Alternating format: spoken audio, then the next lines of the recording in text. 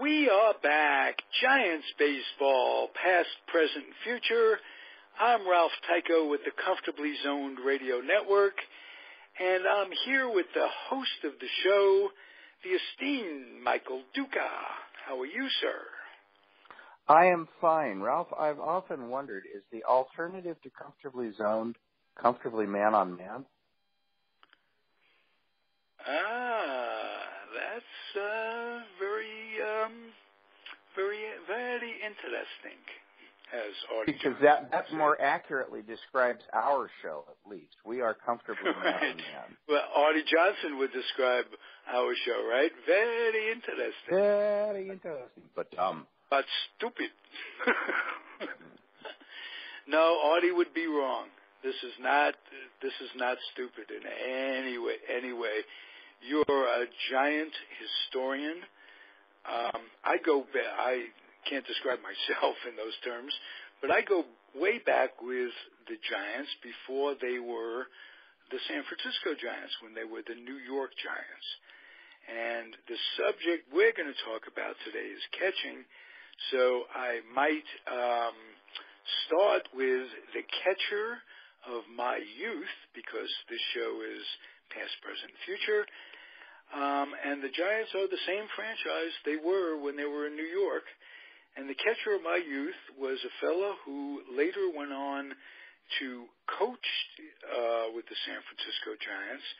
Uh, Let me guess. the Mets briefly, was traded for Cookie Lavagetto, two coaches being traded for each other uh, with the Mets, and um, his name was Wes Westrum. yes, Um, sir. he,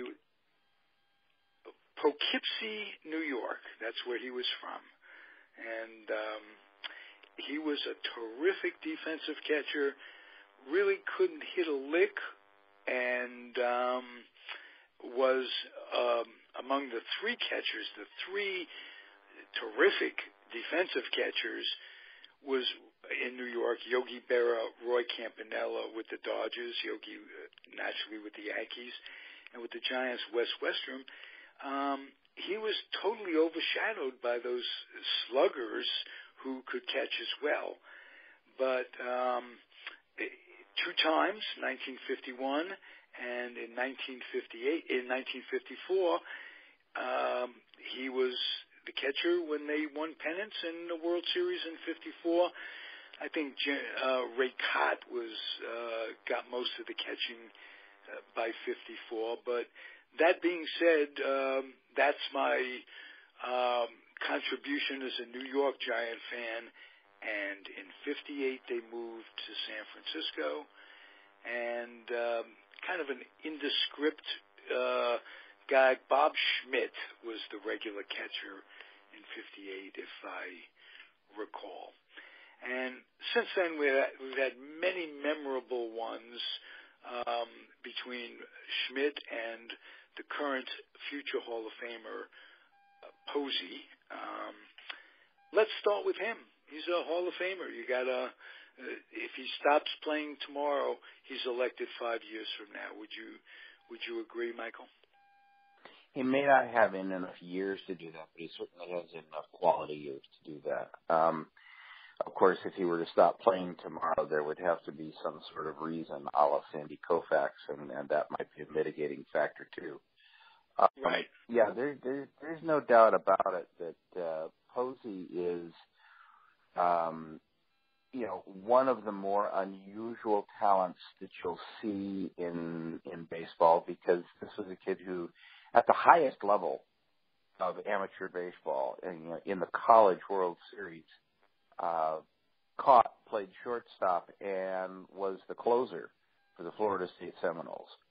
Um, unfortunately, his last time on the mound was not a very memorable one. I believe he gave up six runs to Stanford in the ninth inning uh, in a game that uh, knocked the Seminoles out of the championship. But uh, very, very versatile guy. Uh, also played a lot of shortstop in college, uh, third base. Um, you know, he's uh, he's truly unusual in that he's an athlete who chose to catch. Uh, generally speaking, at least in my day and probably in yours too, Ralph, catcher was the last position you filled on the team because you know, everybody uh, truly believed that those were the tools of ignorance. But Buster Posey Right. has generally, genuinely told people that ain't the, uh, the way it is, and it's not the way it's probably going to be in the future. I think he's set a bit of a norm for catchers and their athleticism. Um, what impresses me about him is his comeback from that horrendous ankle injury, and uh, just wanting to co- come back in the in the first place um, is heroic from something like that. Um, and he did it, and I don't think he's the worst for wear. Um, uh, it doesn't show up in his game that he was he was hurt. Had, he wasn't a speedster to begin with.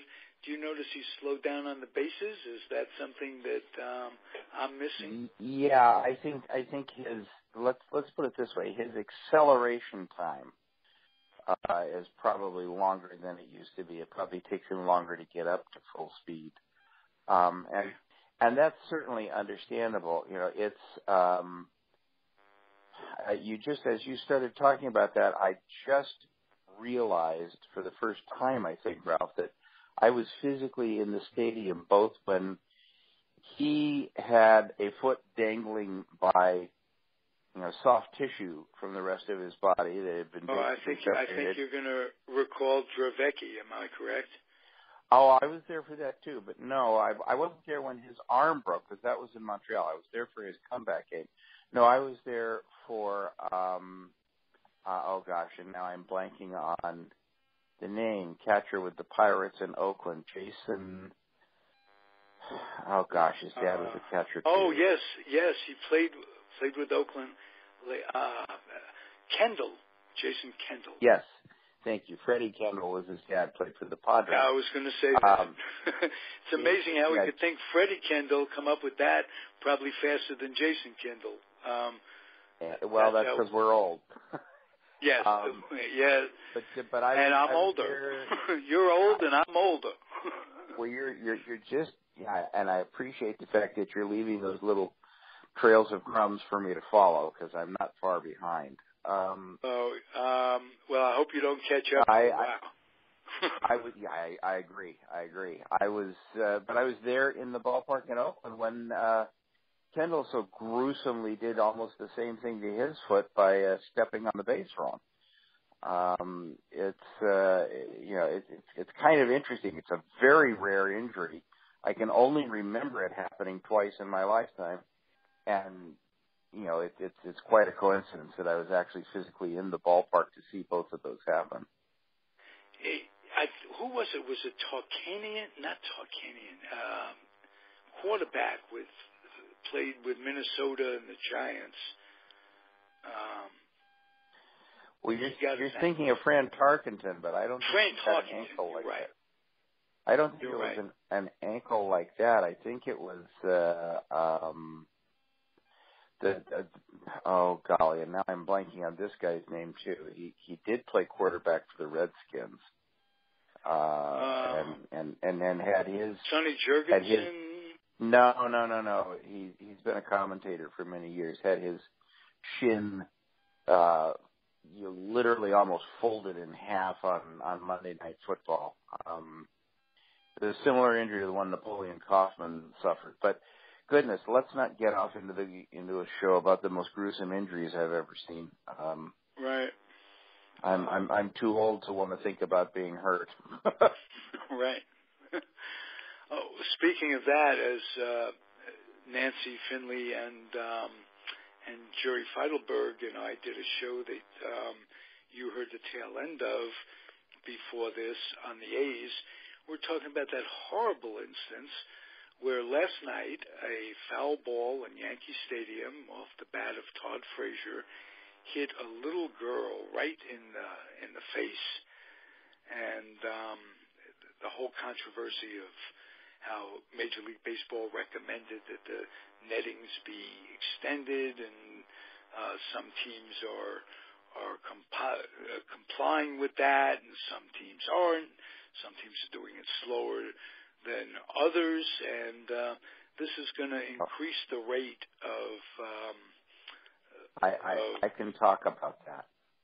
I can Please. talk about that because I happen to even be involved in collecting some of the statistics that Major League Baseball used to make that decision. Um, those nettings, uh, Major League Baseball recommended that the nettings be extended to the home plate end of the dugout, and that's been done in most stadiums. The foul ball that you saw last night would not have been in any way mitigated by nettings, even if they were built to the fullest extent that MLB has recommended. There's a couple things, multiple things that I think have to be kept in mind here. I am reminded when my own son was five years old, we went to the All Star game in Anaheim. It was the All Star game that Rick Reuschel started, the All Star game where Bo Jackson uh, hit a ball out onto what was then the batter's eye in Anaheim before the uh, Disney folks put the rock pile out there. And in those days, there was a skills competition the day before, and it was only five dollars. You went and watched batting practice, and they had some throwing competitions and some base running competitions. It was pretty low level amateur stuff, but it was uh, it was entertaining, and it was only five bucks. Unlike today, when uh, you know the home run derby is a hundred and twenty five dollar per person ticket. Is that what that So- is, really? Oh yeah, all all of the All Star events are pretty Oh, God. expensive. Um, I think Futures game was seventy five dollars when it was here in San Francisco ten years ago, if memory serves. But in any event, um, at that batting practice with my five year old son, it was open seating. You could sit anywhere you wanted. And I had a five year old with me, and my son had a prenatal stroke, so he has a mild form of cerebral palsy. He's high functioning. He's a father of two now, but um, he's uh, right side hemiplegic, and so his reactions and reflexes are not very quick, as you would expect.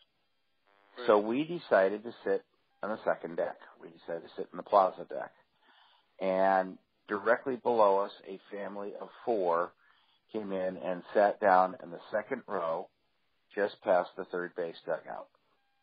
Uh, and the way they decided to sit was uh, dad being nice and kind and, and generous decided to let the kids have the best view. So he sat closest to the foul pole. Mom sat next to him and the two kids sat closest to home plate. Bo jackson was taking batting practice and he hit a ball to the top of the batter's eye. And as we were all staring out to center field in awe, watching that ball roll back down the batter's eye. The next pitch came in, and he lined it tall, and he lined it directly off the side of the youngest child's head, sitting down in front of us. And my son was horrified, and I said, That is why I'm sitting on the home plate side of you. And that is why parents need to think when they seat themselves and their children at a baseball game. Kids are absolute sensory sponges. They're going to soak in everything around them. The guy next to them with the faux hawk and the crazy person trying to dunk his blue cotton candy in his Coca-Cola and all the stuff that's happening around them distracts their attention from the thing that is important, which is that there's a big man over there launching if you will, potentially lethal weapons them. Right. Um, But Michael, we're all adult fans as well subject to this because it's impossible to go to a game and concentrate the entire time. You look down, maybe you're scoring the game, maybe you look away to chat with with a fan about a certain play. Um, the onus has to be on the stadium or the powers that be that run the stadium to provide the protection. Um, you know, where you're sitting should not be eh, for everybody. Let's put it that way. um, and my response to that is that the people who are sitting right next to the field have made a conscious choice to pay extra money to have the closest and most unadulterated experience they can have. I don't think that the people who paid $7,500 a piece for charter seats behind the dugout at AT&T are going to be very happy about somebody putting a 20 foot high netting in front of them. In fact, I think they would be so incensed that they might even sue over it. Um, the, the well, reality is, but I, I wonder if they collect as much random. money as the parents of the little girl who's suing I, th- because there wasn't a net. That well, if if they've decided already that they're suing, then oh, I don't know. I don't know if they. That's just off the top of my head. I have well, no I, I would encourage you. I would encourage you. I would encourage everyone. you know, as I've told my kids all the time growing up, and I tell my wife from time to time, and it irritates the hell out of them when I say this too. But all the words matter, and the words that matter are the words that are written on the back of your ticket. Everybody gets a ticket to get into the ball game, and the ticket says the holder agrees to all the policies and regulations promulgated by the Giants and their affiliates pertaining to events held at the park. Warning, holder assumes all risk and danger incidental to the game of baseball, the event, tour, exhibition. Holder agrees the Giants and their affiliates, Major League Baseball and the National League participating clubs, any player any event host, performer, and their respective agents, employees, and other individuals shall not be liable for any personal injury, bodily harm, loss, or damage to property caused by the event, including without. Well, that sounds like the Miranda rights. well, you... you know what? What it simply says is, you are buying this well informed that the game can be dangerous. There are signs everywhere in AT&T Park, at least, down at the bottom of all the rows, and even on some of the walls in the middle of the sections down there uh, at the field level, saying, "Beware of flying objects from the field." If somebody hits a baseball, the sound's going to get to you before the baseball is going to get to you. If you're talking to somebody and you hear the crack of the bat, you better look. Uh, right. I have, I have literally, Ralph, I have literally saved someone's life twice at baseball games by catching foul balls that were within where my hand was invading their personal space. Let's put it that way. I was within a half inch or less of their face. One time, it was a former player. One time, it was an 80 year old woman sitting next to me who simply didn't see the baseball coming to her.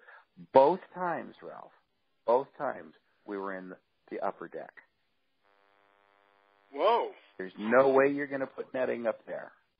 I'm telling you, this is this is simply an issue for which people must take individual responsibility. If you're going well, to a I, I will say the Giants the were foremost in this about five years ago. I don't know if they're still doing it. They would, on their telecast, call attention to the fans that made the great catch, that brought their glove. You got and Krukow and Kuip, uh, Krukow and Kuip, always going, got to bring your gloves to the game. If you're coming to the game, bring your old leather. This, that, and the other thing. So they're um, and and wear it and use it. Yeah. I mean, you know, right. you can you can hold the clipboard in a glove if you're scoring. You know, you're not you're not going to be you don't wear your glove on your writing hand anyway, unless you know you're right. unless you're uh, Pat Venditte. Right. Or Jim Brosnan. I think Jim Brosnan originally wore his glove on on his writing hand. Um, that was silly too. So. Well, that's possible. I, actually, I think Rickey wrote his wore his glove on his writing hand also, but um, that's Rickey uh, Henderson. That's, that's all. Yeah, Rickey. Uh, you know, remember Rickey was that rare combination of right-handed hitter and left-handed thrower.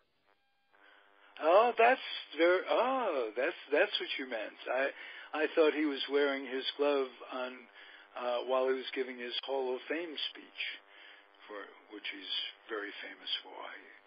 Um, for rehearsing for it, Rickey gave a, an incredibly elegant Hall of Fame speech, and um, I still give him a for, lot of for a guy whose ability to communicate has been ridiculed his whole life. He sure did. Right, absolutely, and he rehearsed for it.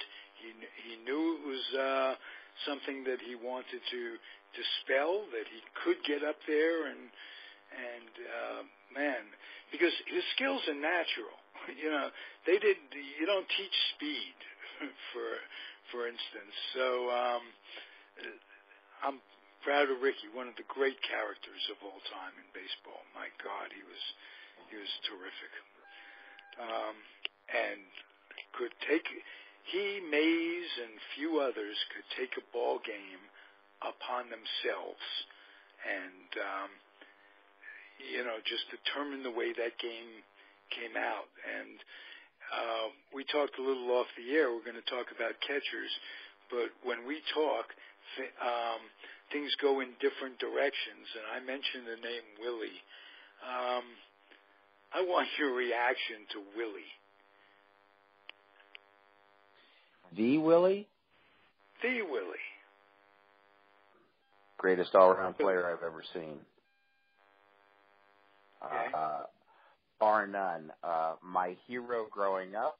Um, you know, when I got to meet him, uh, it was, uh, let's just say I'm glad I was an adult and he was done playing when I got to meet him so I could have a sense of perspective and discover that we all have feet of clay in one way or another. Um, Willie, uh, Willie has aged not all that gracefully in the sense that he's, I think Willie's got a lot of bitterness still about, uh, how he managed to be probably the greatest player of all time in an era when players were not particularly well compensated for their skills. He looks at what what's being Is that an handed out today. Uh, Yeah, and and you know he looks at what players are being paid today to hit 240.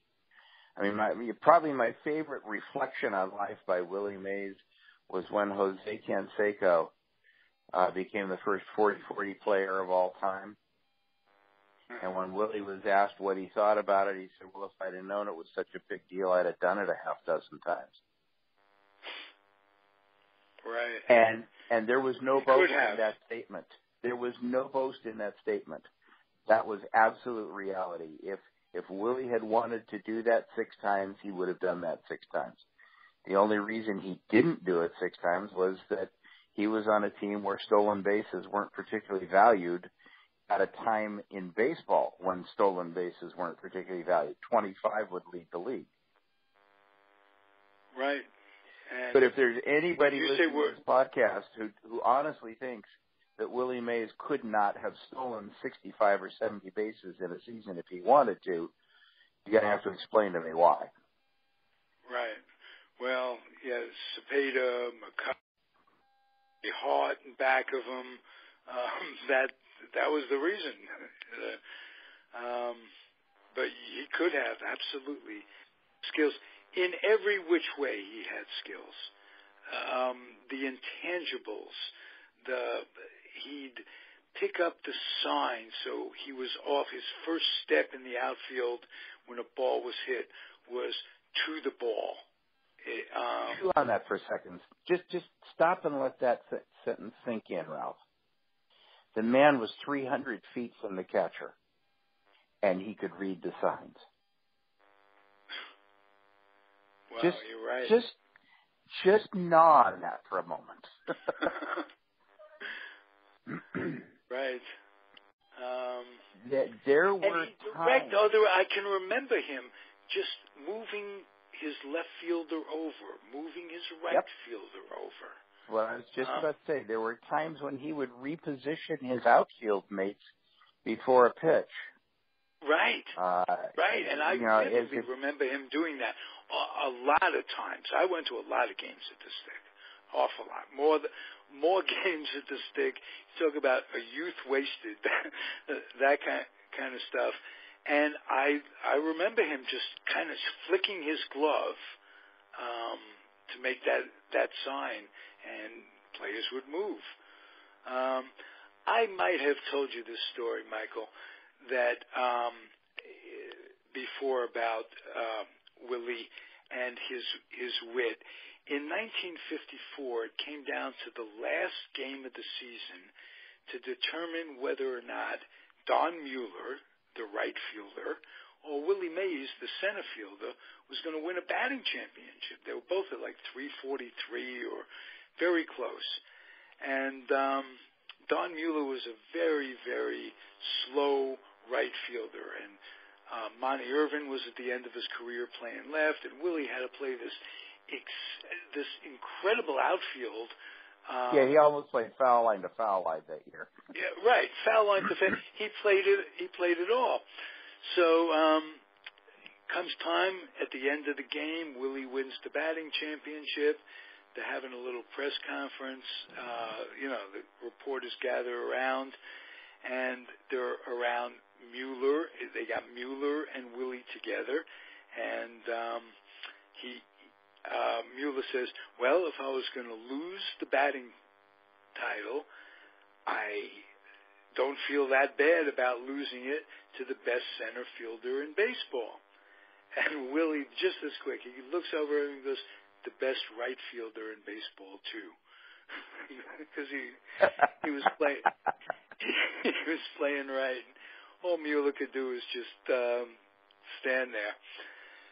That, well, was that was back in the days when I mean everybody thinks that this phrase was coined about Gary Maddox when he was in Philadelphia, but it was really it was Charlie Dressen who said in the early 50s about Willie Mays two of the most prescient things ever. One of them is two thirds of the earth is covered by water, and the other third is covered by Willie Mays. Didn't know that. So I was yeah. one who and, thought and, it was uh, the former center fielder of the Giants, Gary Maddox. Uh, no, it was who, earlier than that that the phrase was it was first coined. And the other brilliant thing that I think Dressen also said, he was asked about a ball that um, was hit over Duke Snider's head in center field in the Polo Grounds, and uh, his comment was, "The only human on earth who could have caught it hit it." Right, right. Um, Charlie Dressen, who lost his job because of his wife. that, his his wife demanded the Dodgers give him a two-year contract, and O'Malley, or, or uh, I guess it was Rickey, my uh, back then, they wouldn't give two-year contracts to managers. All these guys. Walter Alston had 19 consecutive one-year deals. Right, right. It, it went on all those years, even after they moved to L.A. Mm-hmm. That, but Dressen demanded of the Dodgers, "We'll give him give him two-year contract." Well, that didn't happen, and um, he was out on his uh, on his can. Let's put it that way. He went on. He managed a little bit after after losing or uh, losing that job. He went on. Yeah, I want to say he might have done the Braves for a little while. I don't. I mean, we're we're going so far into the wayback machine that Sherman and Peabody weren't even with me. right. Even I forget that, and I live in those days. Do you know? Do you play sim balls um, or board games that recreate statistics of the of those uh, teams of those years? There is a company out of Lancaster, Pennsylvania called APBA, APBA, that has oh, yes. a dice-based simulation. I was actually yes. commissioner of the oldest league in the country for 10 years, Ralph. Whoa. Whoa. Um, so you can imagine uh, sitting around on a cold November day, rolling the dice and uh, keeping the flames of baseball alive. Um, I do well, that today. was exactly how Jon Miller got his start. He he played both APBA and Strat-O-Matic and uh, did play-by-play of his own games, and that's that's where he uh, began the process of discovering his calling. Wow! In Hayward, California. Yes, yes. He and his dad would take him out to the to the stick, and he, or maybe no, I think he'd take him out to the Coliseum. As a matter of fact. Yeah, I think he spent and, more time in um, Oakland. yeah, he'd re- he'd um, record games, and uh, which that's another thing. It's practice, it's reps, like anything else. A lot of it is that. The, but um, like Vin Scully. I, can, I can tell you, I can tell you this, Ralph. Um, I have a secondary job in addition to my baseball jobs, and that is for ESPN. I work college football for their entire season. I've done it for about ten years now, and my job is to be, uh, to use a modern term, embedded with the official stats crew up in the press box and I call the game down to the TV truck where the graphics people are inputting each and every play real time as it occurs into software that allows them to pop up all those statistics off the score bug on the bottom. You know that started, you know, so and so started completing none of his first five passes and he's seven of eight since, or he threw his first two passes to the left and then he's thrown his last nine to the right, or whatever the the goofy numbers are that they come up with. And so I'm sitting there on a headset, latched open, literally I have a rush right 23 to the 36 yard line. The 36 is confirmed. We're coming up on second and three. People listening to me include the guy who puts up the down and distance overlay on the screen from Sport Vision or the first down marker, all of that stuff. And I can tell you, it is you have to be totally invested in what you're doing to be able to see somebody break a 79 yard punt return and describe it and not just sit there and watch it. It is not easy to actually form the words and describe the play as it's happening to people and keep in mind that they can't see what's going on. Although down in the truck they do have monitors, but still, you know, your job is to keep them fully informed of what's going on. By total concentration it. on your part. Well, total. and it's not it's not just total concentration on your part. It's also remembering that even though they can see it, they're relying on you to describe it. And to a certain extent, that's what that radio broadcast is like. You know, I did some radio broadcasts of of basketball while I was in college uh, on our college uh, station. And it turns out it's a hell of a lot easier to watch the game than it is to both watch and describe the game. Oh, I can well appreciate that. I can well appreciate. Now, you grew up in L.A., am I correct? Well, I grew up in California. I think that's the best way to put it. I was born in East LA. We moved to Lafayette, California when I was three. We moved to Sacramento when I was six. We moved to San Diego uh, in the middle of seventh grade, and then we moved to Pasadena in the middle of high school. And then I went back down to San Diego for college before moving up to the Bay Area for the rest of my life. Well, the, the reason I asked that question was to determine how much, when you did your basketball announcing, broadcasting, how much of Chick Hearn did you take with you? None. And the reason I took none with me was because I couldn't. I wasn't good enough. I would have loved to have taken a little of Chick with me. I would have, but, but for the most part, my basketball career spent was spent uh, with me trying to get out of the popcorn machine. yes, take them out of the popcorn popcorn machine. Um, uh, you listened to Bill King up here do basketball as well, didn't you? Oh, of course, of course. Uh, I, Was he a I master had, at that or what?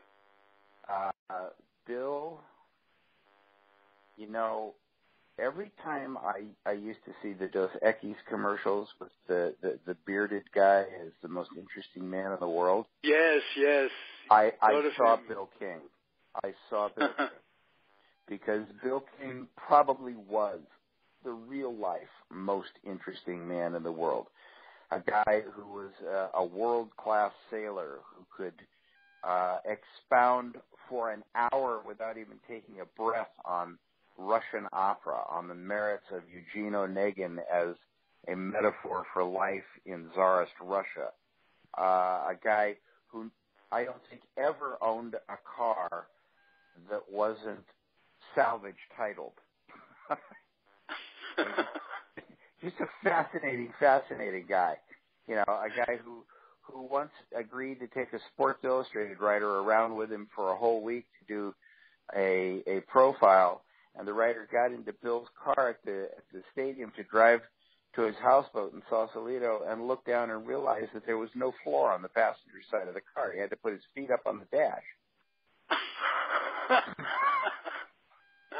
I mean, it's this was, you know, a man a man who was legendary for eating some of the vilest foods you can conceive of. You know, his mid-game snack would be popcorn with chili and raw onions. Right.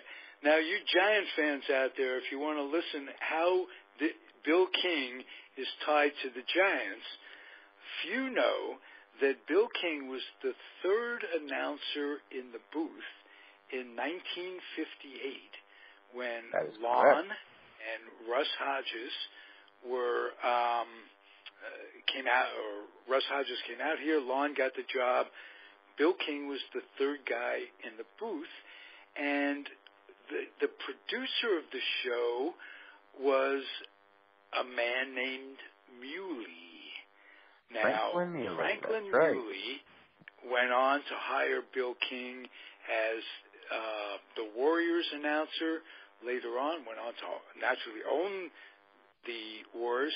He was the producer of um, of that radio broadcast when yeah the play-by-play broadcast in in the first year the Giants came out of here.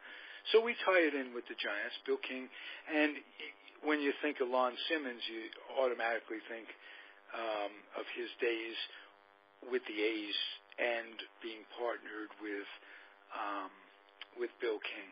That was a terrific partnership. That was fun to listen to those two together. They complemented each other beautifully.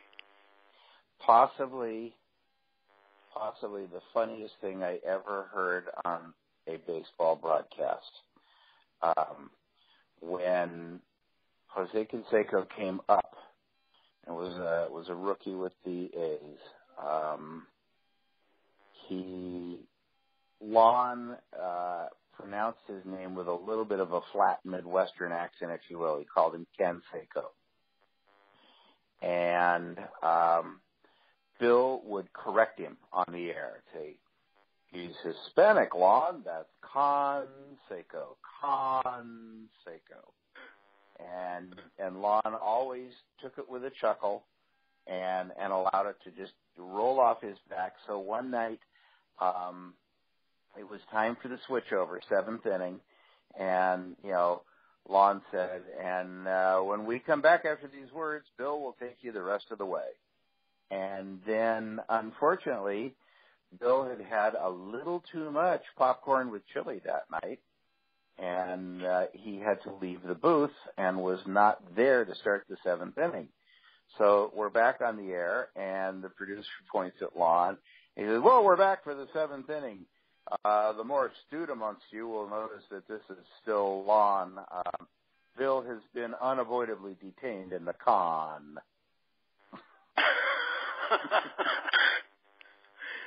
that is a great line. That is a very, very funny line. Unavoidably in the con. Great. I remember poor Lon. They when the Giants after the game he'd interview the stars of the game, and when they came over here, folks like Marichal, um, uh, the Alous, uh, Jose Pagan from Puerto Rico, they spoke very little English, and Lon would ask him a three sentence question. No, Lon. yes, Lon. um, whoever Marichal, well, Lon, no, Lon.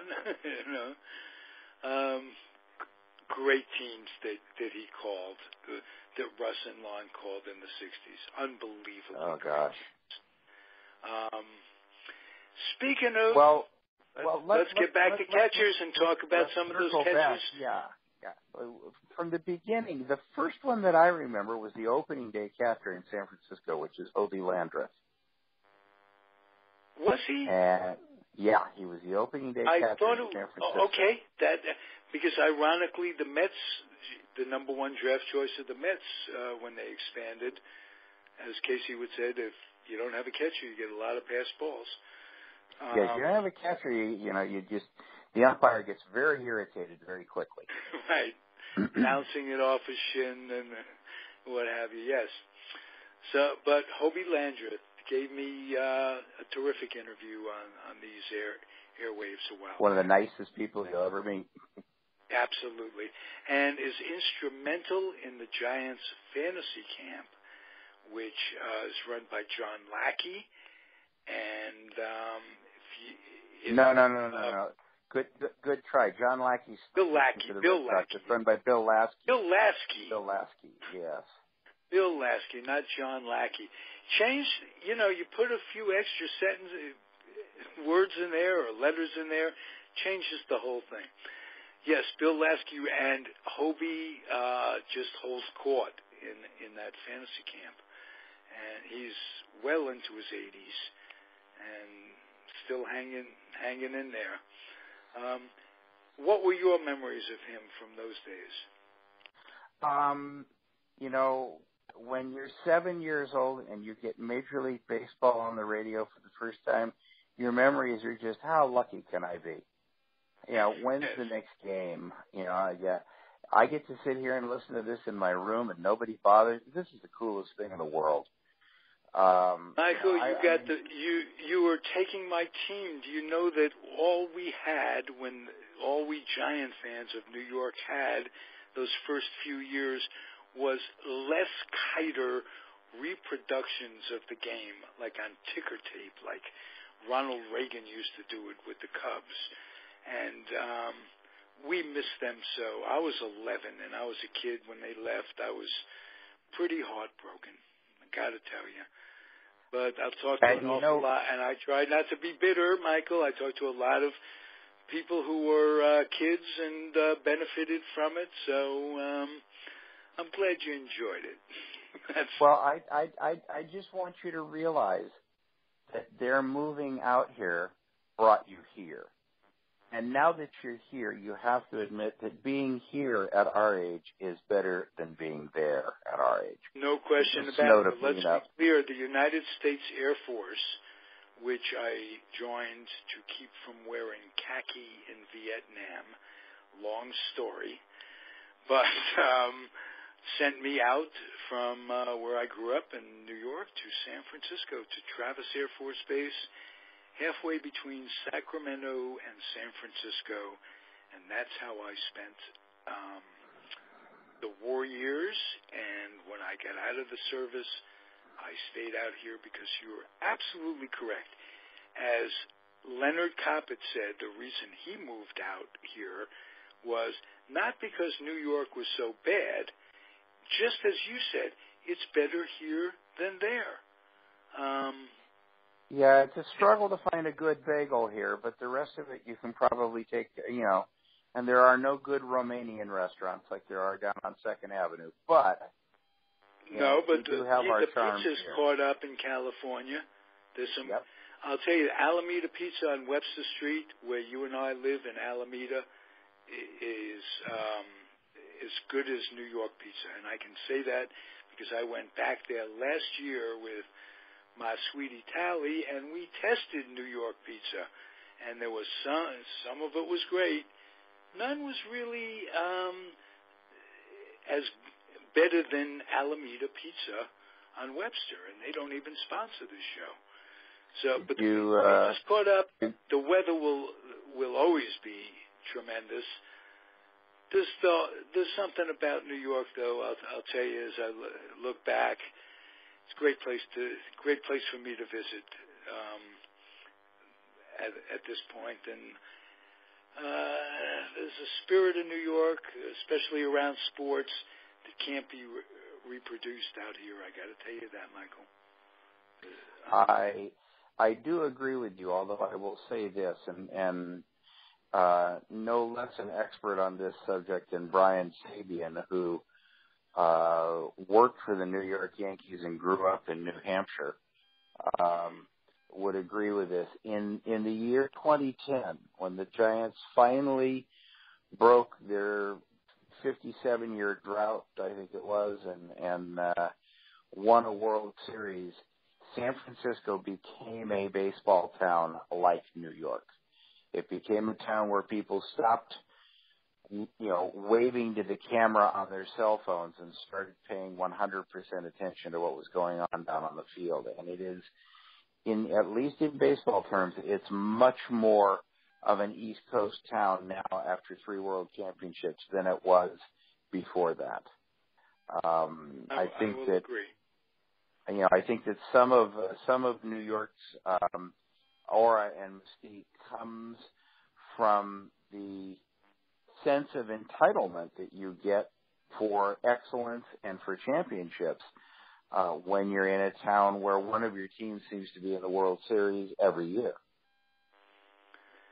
Well, you know, maybe I'm I'm thinking of it in terms of somebody who watched the A's win five pennants in a row, couple, you know, and um, three world championships in a row in that streak, and did got very, very little support.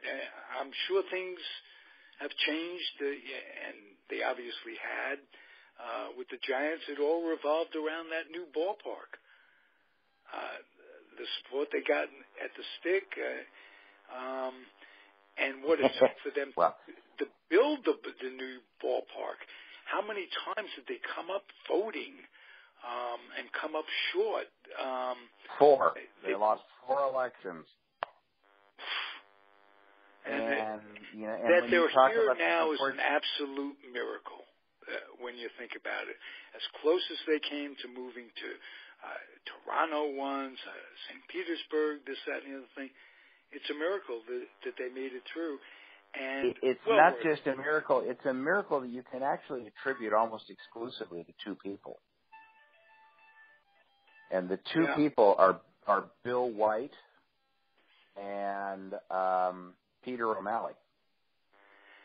Well, with Bill White, um, you you can tell the story better than I can. But Bill White was um, a hater of St. Petersburg. He had to suffer the indignities of having the Cardinals train down there, and Bill White and Curt Flood and all these guys could not stay with their team because right. of the, the craziness that was going on. And to be honest, it's still going on in this in this world in this country. But that's for another show. Um, and Bill White, um, when it came down to it, was the commissioner of the National League. And when it came down to the Giants make, making that move, he says, over my dead body. Literally said that. Um, and, and and so did Peter O'Malley. I, I wrote to all of the owners in baseball when they were considering that move. I wrote them all an identical letter that was very fact based, talking about uh, market size, talking about per capita income, talking about a whole variety of things there about why why the National League did not want to abandon the fourth largest market, fifth largest TV market to the American League, et cetera, et cetera. I got responses from exactly two people.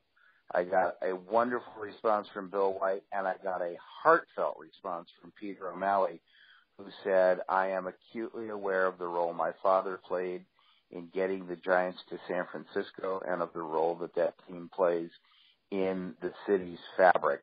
And you may rest assured that they will not leave California as long as I am in charge of the Dodgers.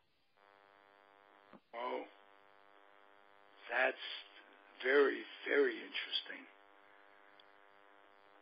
Very so interesting. it's yeah, it was uh, it, it was it was kind of shocking to me, you know, of all the teams, you know, to have your your bitterest rival be the one that that steps up and says, uh, "Fear not, Giants fan, we're on the case." That's what's the interesting part. Now, I will, because time is short, I will segue that to another catcher we're talking about with the Giants, who went on, he, uh, Tom Haller, who played an instrumental part in the 62 um, uh, championship team. He uh, platooned, if you will, with, uh, God, I just his name absolutely. He platooned with Ed Bailey. Ed Bailey, another left-handed hitting catcher, and uh, they did the job and they won. Well, Tom Haller went on to play with those Dodgers, and um, he had one of those rare guys. He had half his career with the Giants, half his career with the Dodgers, and um, his um, he, the late Tom Haller his son Timmy was a co-host on this show for quite some time and taught me a, a lot about Tom and um, the class that he showed when um, he moved moved down there. He took over as the regular catcher with the Dodgers. Sandy Koufax was uh, Don Drysdale those days, and um, a pretty remarkable remarkable guy the thing that I remember about him when I was a kid, when he made it to the big leagues, he gave back his scholarship. He he paid um, University of Illinois. He was on a football scholarship. Um, he paid whatever he got. He paid back. Gave them a bunch of cash, and others have done stuff like that too.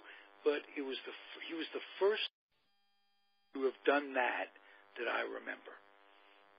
Um, the first player to have done that. I thought that out of class, and um, that was my Tom Haller story. Um, what are your memories? Well, I had never Tom? heard that story about Tom. Uh, I wonder if Dick Butkus just scared him into doing it.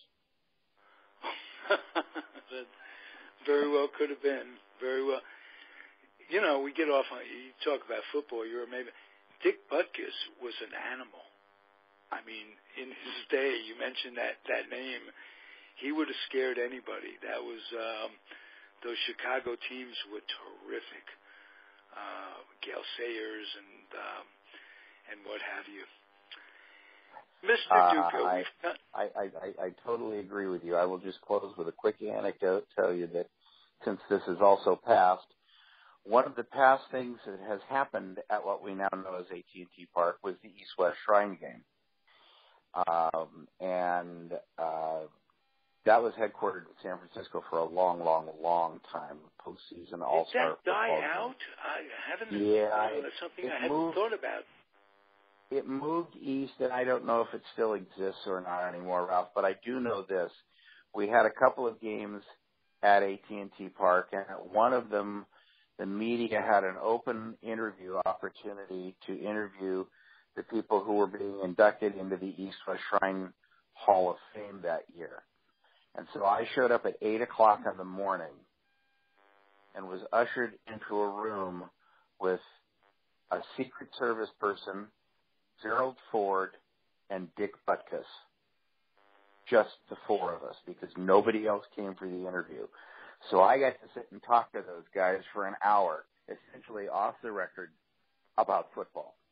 And I think um, I think I might have been the most blessed person on the planet that uh, how many people get to sit in a room with an ex-president? I mean, literally sitting next to him, you know, where you would turn towards each other to talk and, uh, and discuss their college football days at Michigan. He played without a helmet. Yeah, well, he played with a leather helmet. He was accused of playing right. without a helmet. He was accused of playing without a helmet by LBJ, but he actually played with a leather helmet. Okay. And he laughed about that. He said, you know, I asked him about that, and he said, well, you know, uh, the president might have been right.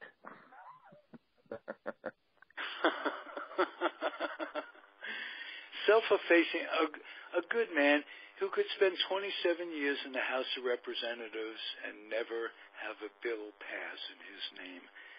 But um, he was what he was, and I'll tell you a little interesting story. The day he pardoned Richard Nixon, I was in Las Vegas at Caesar's Palace to see Frank Sinatra, Nancy Sinatra, and Frank Jr. on stage at the same time with each other. And um, the word came down that um, Ford had pardoned Nixon. And um, I think that was good. Looking back, I think that probably closed some wounds and it put the, brought the country together, and we went on to do other things besides. Um, um, in a way, in a, in a way, he wasn't punished, and that begat a lot of things in the Republican Party amongst presidents that, that continue to go unpunished. But that for another show, am I right? we can't end on that. Yeah, pr- probably one that I shouldn't be involved in too. Well, okay, that um, uh, a show that you, uh, the future show, you mean? no. Um, for my blood pressure, it's probably a show that I shouldn't be involved in either, if you think about it. Um, yeah, because you know. it is crazily depressing. Let's put it that way. But um, can't we think of something to show on that isn't crazily de- de- depressing? Uh, give, me, a Dick, oh. a Dick Dietz story. Speaking of former. All right, all right, all right. Here's a Dick Dietz story for you. So, I'm a senior in high school. It's uh, I think probably May, late May, and uh, I'm in Pasadena, and I decide that uh, the best way for me to get into the ballpark and enjoy a ball game is to work as a vendor. So I go to Dodger Stadium and I apply and I get hired and uh, I am, as all new people are, blessed with carrying a case, a wooden case with glass bottles of Fresca around the ballpark, trying to convince people to buy this awful tasting diet beverage. The worst part about it, Ralph, is when you were out of product, when you had nothing left to sell, you still had 40 pounds of case and empty bottles hanging around your neck. The commissary was all the way down underneath the right field corner. My post was the third deck down the left field line, so I was trudging forever where I couldn't even sell carrying these bottles. And the night that I worked was the night that Harry Wendelstedt decided to become the only umpire in history to invoke the you didn't try hard enough to get out of the way rule on Dick Dietz and thereby preserve what I've always considered to be a bogus record for uh, Don Drysdale. That was the night that right. he set the uh, the consecutive innings scoreless record. And for those who weren't there or don't remember, Dietz was hit in the side by a pitch with the bases loaded, but denied the opportunity to take his base because rookie umpire Harry Wendelstedt, Hunter's dad, uh, Hunter's current umpire, decided shows you, that shows you how old we are. Yeah, decided that uh, Dietz did not try hard enough to get out of the way, which of course outraged me as a Giants fan because I said, "Have you ever seen the man play? How would you know if he was trying to get out of the way? It takes him about four seconds to begin to move."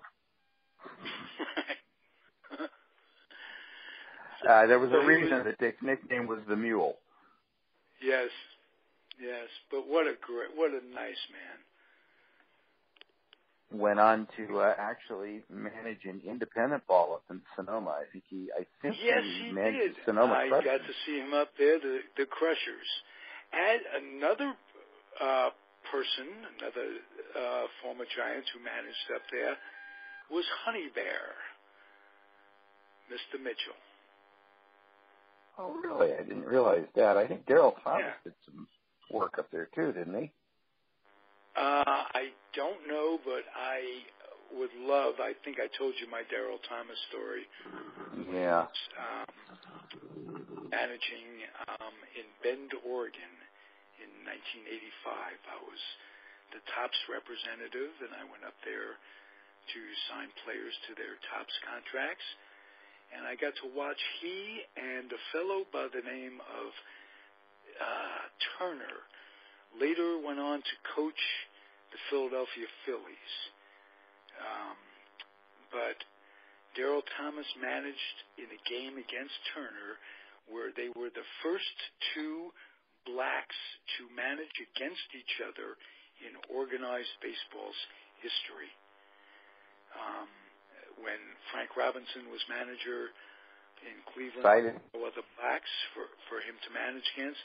This was the mid '80s, and um, I went up to Derrel, got to meet Derrel Thomas, and told him how ashamed I was of mankind that it took um, that this took forever, and um, we both kind of teared up at that because. Um, yeah, yeah, Derrel Thomas. Yeah. Derrel Thomas is another guy that played with both the Giants and Dodgers.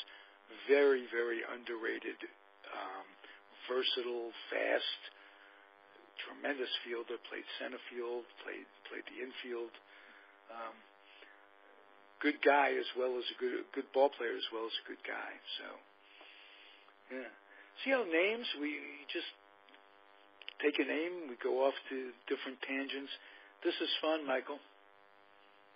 Always enjoy it, Ralph. See you next week. Next week, same time, same bat channel as Alan Blumpkin would say. See you then. Everybody out there, keep on keeping on. If you get anything out of this that remotely, um, if you enjoy this remotely as much as we do talking about it, then uh, I'm happy for you. Be well, Michael. See you next week. Thanks, Ralph. Keep on keeping on.